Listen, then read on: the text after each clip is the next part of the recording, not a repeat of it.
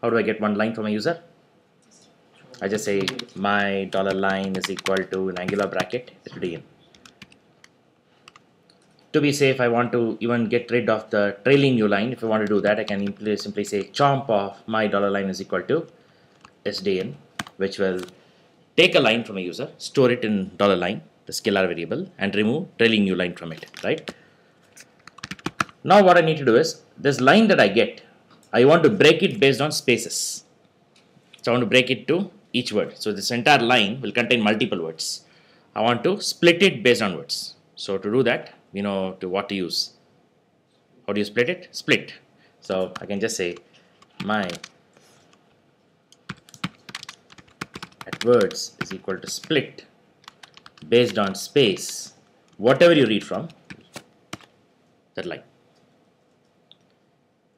Next, once it is split, maybe you can uh, iterate over this to print it just to see whether it's really split very well. I'll iterate and print it just for debugging. Okay. Print dollar underscore slash n. Show you the output.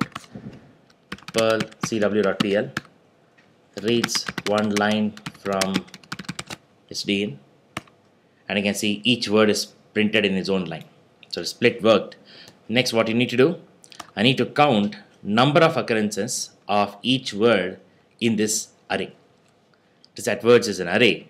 The array, it's now an array of words. I want to count number of occurrences of each word. So how do you do that? How do you propose to do this? People are in a basic Perl yesterday. Yeah? I want to I want to count the number of occurrences of each word in this array. We can use a counter. Okay. Uh, Single element to one shift each element to one scalar variable and that. uh, well uh, from a scalar you create an array you'll create back a scalar again from it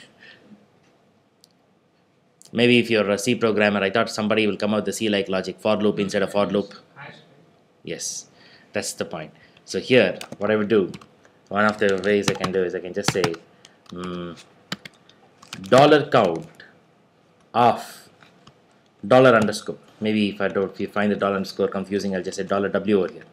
For for each my dollar W each word in words uh, I do initialize this hash so I'll just say percentage count is equal to an empty hash. I just create an empty hash. So it's a dollar count of dollar W plus plus.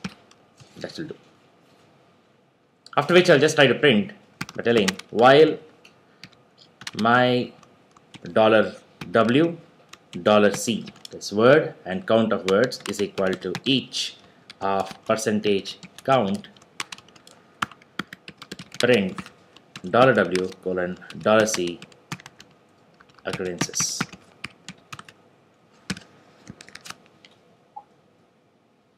Let's try this.